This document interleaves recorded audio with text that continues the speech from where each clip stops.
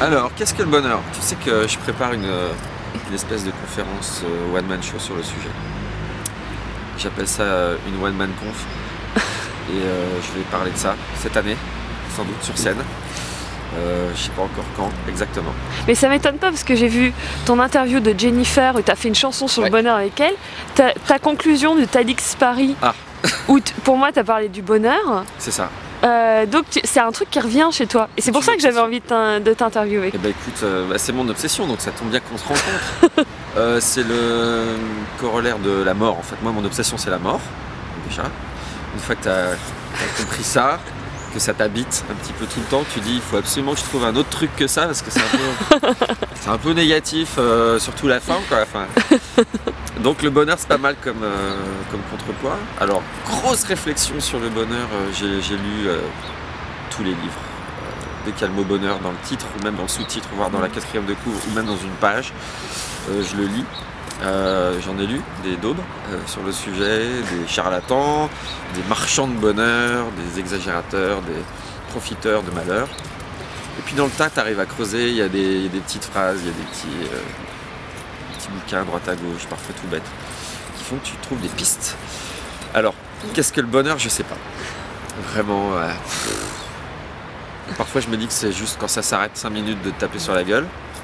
Ah là, c'est le bonheur. Ah, ça s'arrête les emmerdes, merci, vous pouvez arrêter deux secondes, ça c'est bien. Donc là tu dis, ah bah c'est le bonheur aujourd'hui, on a arrêté de m'emmerder. Ça c'est quand tu es un peu fatigué. Quand tu es bien, là en ce moment je suis bien, c'est euh, quand tu es un peu cohérent avec toi. Juste t'es- tu te sens un peu cohérent. 5 minutes, ça dure pas très longtemps, c'est vrai. Tu dis tiens, je fais un peu ce que que j'aime, euh, l'endroit où ça va, et puis aujourd'hui c'est cool. Euh, tu te sens un peu cohérent. Tu parles de euh, TEDx, la conclusion de TEDx 2010, j'étais cohérent. À la fin, euh, j'ai pris, j'avais 7 minutes pour finir le truc et j'en ai pris 17 parce que je me sentais bien Mm. Et je me suis senti vraiment bien au bon endroit, au bon moment, avec les mots que j'avais envie de dire à ce moment-là. C'est con mais c'est rare. C'est-à-dire que depuis- Et donc tu avais prévu 7 minutes et c'est-à-dire ça s'est allongé parce que tout d'un coup c'était un flux de paroles qui te traversait Euh, non, c'est parce c'était que préparé? dans TED, normalement, c'est des formats Bah super oui. courts et respectés, mais je parlais en dernier. Donc, euh, comme tu es le dernier, il y a personne, j'allais gêner personne si tu veux. Et puis, au lieu de parler lentement, j'ai parlé plus, et puis euh, j'ai rajouté des anecdotes, et puis Mm. j'ai laissé le temps pour les rires, et tout ça a duré 17 minutes. Et si tu veux, ce jour-là, je suis sorti de scène en me disant, euh, ça c'était le bonheur. Alors j'ai réfléchi après en disant pourquoi? Est-ce que parce que des gens ont ri? Oui, certes, mais j'avais eu des gens qui riaient avant déjà. C'était pas ça, j'étais bien. J'étais bien sur scène, les pieds sur la scène. Je voyais pas les gens en plus, il y avait la lumière dans la gueule. Mais tout ce que je disais, j'aimais bien ce que je disais, pas, pas d'un point de vue. Euh... c'est bien ce que je dis, mais j'ai- j'aimais bien ce que je disais, je sais pas comment dire. Et les gens aimaient bien du coup aussi ce que je disais. Peu importe au fond, euh, presque le fond, c'était. euh, Et ça, c'est une expérience de fou, de, de se sentir bien au moment où tu devrais être là. Et le problème, je crois, c'est qu'il y a plein de gens qui n'écoutent pas les signes de ce qu'ils devraient être, Voilà, comme tu parlais tout à l'heure des signes. Et qui sont malheureux parce qu'ils sont juste pas là où ils devraient être. Mm. Et alors certains font ça toute leur vie parce qu'ils n'ont pas la chance ou, ou l'exercice ou même la confiance de se dire je peux peut-être être ailleurs, je peux peut-être faire autre chose que ce que je suis. Faire autre chose que, je- que je suis, c'est drôle. ça. Et puis il y en a comme moi qui toute leur vie cherchent, euh, comme toi j'imagine, comme tous les gens que tu rencontres, cherchent euh, à trouver mieux, à être à l'endroit exact. Après, est-ce que tu es heureux malgré tout tout le temps? Je suis pas sûr, mais je crois que ça aide quand même. Ça Ouais. aide pas mal. Moi, je pense pas qu'on on soit heureux tout le temps. On est heureux, c'est au-delà de nous, mais, mais en fait, les frictions, les tensions nous aident à définir là, justement, Ouais. qu'on est en train de sortir de, de vrai. cet endroit où on est bien. Donc, de- on est toujours comme un pilote en train de réajuster, j'ai la sensation de. Ça. Et c'est par l'expérience qu'on réajuste. Et par des fois les expériences douloureuses, où, où on n'est pas, où on n'est pas à l'aise, quoi. C'est clair. Mais après, il y a aussi des gens, ils ont, on a l'impression qu'ils sont tout le temps heureux. Ils sont un peu saoulants d'ailleurs. Ouais, ils sont bien, tu sais, comme, euh, Non, mais ils se cachent pour être malheureux. moines comme des, des- des- des bons gars qui sont bien. T'es là, tu leur parles, ils ont le sourire et tout. Toi, t'es là, mais pourquoi t'es heureux, espèce d'enfoiré hein Pourquoi t'es- tu souris alors que moi j'en chie et tout Non, j'exagère, mais tu dis, c'est quoi leur secret? Ils ont l'air heureux tout le temps. Alors peut-être qu'après, une fois que tu les as vus, ils rentrent chez eux, puis ils pleurent. puis ils vomissent. Mais, euh, si ça se trouve, euh, ils sont, ils sont vraiment heureux, ça c'est flippant quoi. Mais je pense qu'il y a des gens vraiment heureux. Ah, mais c'est dingue quoi. Moi je crois pas, il faut qu'on aille creuser, euh, Johanna, on va creuser.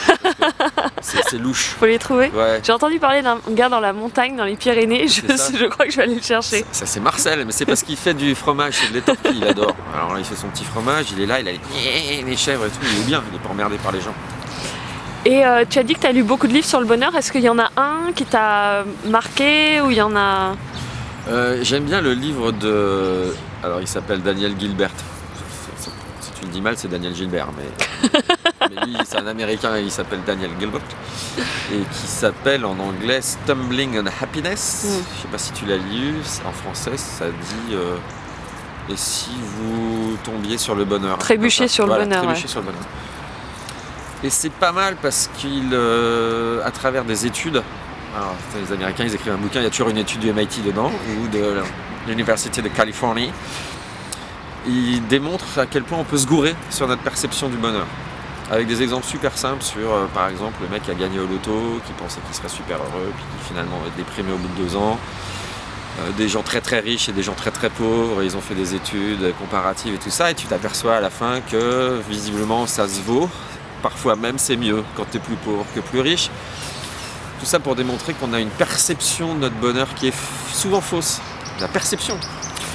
Alors euh, si tu sais que ta perception est fausse, comment tu fais? Moi j'en sais rien, parce que du coup ta nouvelle perception, est-ce qu'elle est fausse ou juste? J'en sais rien, parce qu'elle est peut-être fausse. Après tu as même ta perception de ton passé qui peut être fausse. Et alors la perception de ton avenir, je t'en parle pas, de, éventuellement si je fais ça, ça va faire ça. Et quand tu finis ce bouquin, tu dis ok, donc euh, on te prend pas la tête, surtout. Ça se trouve, tu te plantes sur tes repères, sur tes valeurs et tout. J'ai adoré ce bouquin parce qu'il te fait vraiment. euh, mais la tête à l'envers. Mais du coup, autant choisir sa perception si euh, de toute façon elle est fausse. Absolument. Donc en choisir une qui est plutôt euh, sympa Alors, et. moi, ce que j'essaie de faire, c'est au lieu de suivre ma perception, je suis mon intuition. Bah, et ce qui est extraordinaire, c'est que tu t'aperçois, alors parce que c'est en vieillissant, que ton intuition est souvent juste.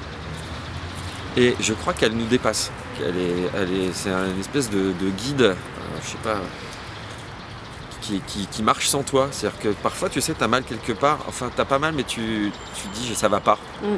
Tu sais pas d'où ça vient cette réflexion. Mm. Tu dis, merde, ça va pas. Et, et si tu te dis ça va pas, c'est que ça va pas. C'est pas une invention. T'es pas hypochondriaque. Il y a un truc qui va pas. Et ça va pas.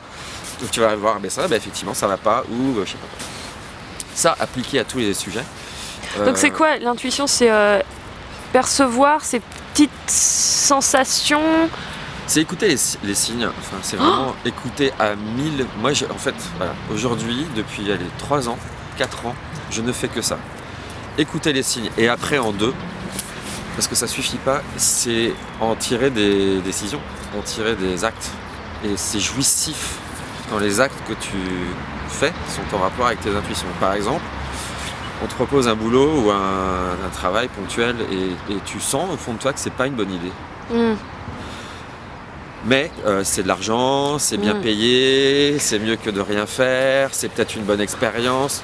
Tu trouves mille choses qui justifient le fait de le faire, mais tout ton corps te dit Ah putain. Et tu le fais. Et tu t'en mords les couilles. Six mois plus tard, t'es là et tu t'es là, mais putain, je le savais, je l'avais dit, je l'avais dit, je l'avais dit, je l'avais pas dit, je l'avais dit. Et ben j'ai, voilà. Et bah tu y vas, tu l'as dit, puis tu y vas quand même, et puis tu vas la tête dans le mur, bam, et tu dis bah j'aurais dû écouter mes intuitions. Bah ouais, bah écoute-les alors. Et maintenant je fais ça. Mais les intuitions, elles te disent aussi des choses à faire, pas que des choses à pas faire, j'espère. Bah, exactement, mais c'est pareil. Hier, j'ai rencontré un gars euh, qui m'a proposé euh, un truc, rien de cochon, hein, de, de son- de son- dans sa boîte. Et à la fin, c'est clairement une histoire d'intuition. Les arguments sont bons, euh, la, la boîte a l'air saine, le projet est bien, il y a tout un tas de difficultés. Et on, on s'est quitté, en gros, c'est. C'est- Voilà, j'ai juste à suivre mes intuitions, de savoir est-ce que j'y vais ou pas. Et là, elles me disent d'y aller. Et ma femme a dit, euh, c'est quoi ton intuition? Elle m'a dit pas, réfléchis bien, ou fais A plus B, fais les colonnes. putain, ta femme est dans ce trip, euh, de ce trip bizarre. non, elle n'est pas toujours, mais euh, au bon moment souvent, elle, dit, mais qu'est-ce que t'en penses? À la fin, c'est en 3 secondes. Vas-y, c'est quoi ton intuition? Bah c'est bien, bah vas-y. Donc comment tu, le, comment tu te connectes avec ton intuition? Tu fais le vide, tu médites, tu... Non, tu- comment tu te connectes toi avec ton intuition? Non, j'ai juste, j'écoute. en fait, c'est souvent une, une réflexion très rapide. Je crois que c'est la réflexion la plus rapide que tu puisses avoir, l'intuition. C'est si t'as pas le temps, c'est si on dit là, tu dois passer la porte et tu dois dire juste le truc qu'il faut, c'est tout de suite, c'est maintenant. Ah, ok, bah je fais ça. Et bah c'est ça l'intuition. Souvent c'est ça quoi. Et cette dernière année, à chaque fois que j'ai pas respecté mon intuition, je m'en suis pris plein la gueule. Mais direct Mais direct Donc faut l'écouter, ça sert à rien, sinon ça sert à quoi, Johanna? On va se faire emmerder Ouais, par peur. D'ailleurs, par exemple, t'as des enfants? Ouais, deux. T'as deux enfants. euh, Qu'est-ce que tu leur, euh, qu'est-ce que t'as envie de leur transmettre Un truc important dans la vie que t'as appris et qui va leur permettre euh, bah, de, de jouir de cette vie? Oh la vache Ah dur C'était question. euh, ce que j'essaie de leur transmettre, c'est euh, juste de faire de leur mieux. Et c'est très dur, qu'après ils peuvent confondre, ils peuvent penser qu'il faut être le premier. Hier, ma fille m'a dit Mais pourquoi vous voulez toujours que je sois la première de la classe? Jamais, on lui a dit d'être la première. Jamais, mais jamais. Mais donc elle a compris ça. J'ai dit Mais non, mais jamais. Je t'ai jamais dit d'être la première.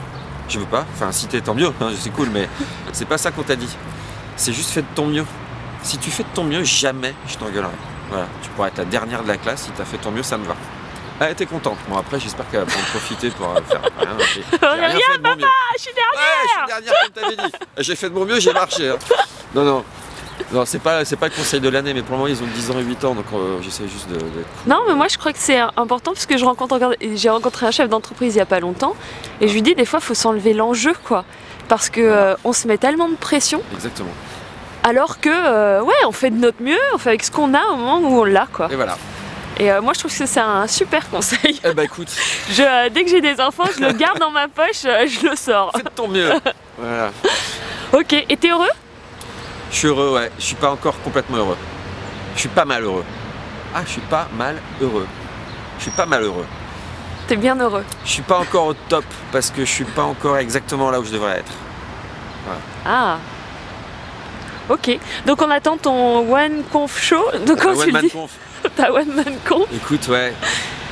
À moins qu'il y ait un tournage qui se confirme, euh, j'espère vraiment la faire en juin. Oui, parce qu'aujourd'hui juin- t'es acteur, t'as commencé dans le web et euh, Ouais, aujourd'hui je fais un peu tout. Je suis producteur, auteur surtout, parce que j'aime c'est écrire. Et puis j'ai une émission de télé, mais c'est euh, là c'est à la fois euh, auteur, producteur, euh, comédien. Enfin c'est une espèce d'expérience. t'es un homme orchestre quoi. Un homme orchestre.